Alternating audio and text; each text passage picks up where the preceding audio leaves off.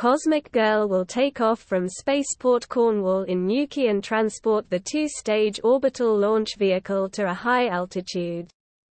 It will then be, horizontally, dropped before engaging its thrusters to launch itself into space at up to 17,500 miles per hour, where it will deposit the satellites. The LauncherOne vehicle arrived late Friday night from California, on board the C-17 Globemaster military plane. The mission, which is on track for a November liftoff, has been named Start Me Up in tribute to the iconic British band, the Rolling Stones. 1. Soviet Union 4 October 1957 2. United States 1 February 1958 3. Japan the 11th of February 1974. France the 10th of March 1970 from the French territory French Guiana 5 China minus 24 April 1976. India minus 18 July 1987. Israel the 19th of September 1988 8. Iran the 2nd of February 2009 9. North Korea the 12th of December 2012 10 South Korea the 21st of June 2022 11 United Kingdom as well as being the first satellite launch from Britain. With the UK finally joining the space race some 70 years after the British space programme was established in 1952. LauncherOne was made at the Virgin Orbit base in Long Beach in Los Angeles County. It will also be the first commercial launch from Europe and the first international launch by Virgin Orbit. It will be a momentous occasion. It has been flown to the UK along with all the ground support equipment, including the rocket's fueling rigs. It came after the Cosmic Girl plane, a modified Boeing 747, arrived last Tuesday and has since begun flight rehearsals. Although October 29 is when the window for liftoff opens.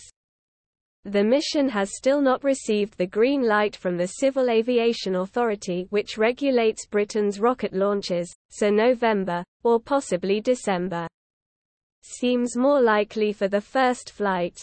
Once Cosmic Girl is at a high enough altitude, around 35,000 feet, LauncherOne will be unleashed.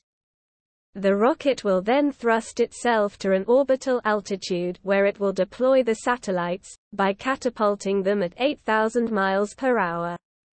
This includes the UK government's two CubeSats, measuring about 12 inches long, 8 inches wide and 4 inches deep, along with eight other payloads as part of a mission named Prometheus 2. CubeSat 1 foot and CubeSat 2 feet will provide a test platform for monitoring radio signals including GPS and sophisticated imaging. CubeSat 1 includes a laser detector, a GPS receiver and a hyperspectral imager, which can capture multiple slivers of pictures over different wavelengths of light. CubeSat 2, meanwhile, includes two optical imaging cameras a laser range finder, and a GPS receiver.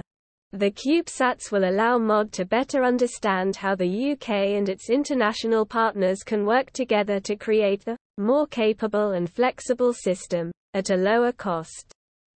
Sir Richard Branson's company has already conducted three successful consecutive orbital missions with LauncherOne in 2021 and 2022, the last one in January. Ian Annett, deputy CEO at the UK Space Agency, said, Seeing Virgin Orbit's aircraft take off is an exciting reminder that we are close to the first launch from UK soil and first launch of a satellite from Europe. This will be an iconic moment in the history of UK space endeavours, so it is fitting that the mission has been named after a song from the Rolling Stones one of the UK's most iconic bands. He added, Developing new launch capabilities will build on the strengths of our space sector and attract companies from around the world to benefit from these commercial opportunities. This will catalyze investment, bring new jobs to communities and organizations right across the UK, as well as inspiring the next generation of space scientists and engineers. 1952. British space program adopted. The rocket that will be carried into space in the first ever orbital launch from British soil has finally arrived in Cornwall.